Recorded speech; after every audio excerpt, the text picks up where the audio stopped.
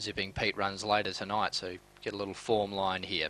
Light and Lure for the second event at Bulli. Ready?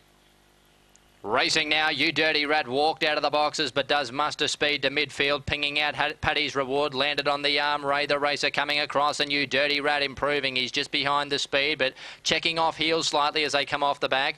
Then Tiffy for me, well back was Risky Bet, Heart of Norm, Cool Bear and Last Rising Valor on the corner. You Dirty Rat hunting for the rails but he hasn't got to Ray the Racer yet who's still bobbing in front. Ray the Racer clear from You Dirty Rat and a wall chasing but it's all Ray the Racer. He went to the wire to win by three lengths. Toss up for the minors. Three across the track there. Heart of Norm, Tiffy for me. You Dirty Rat.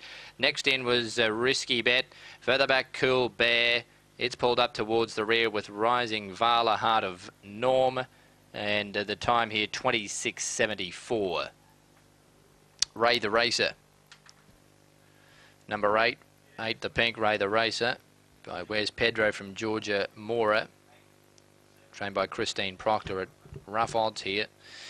And he had the four starts. One had happened two runs ago.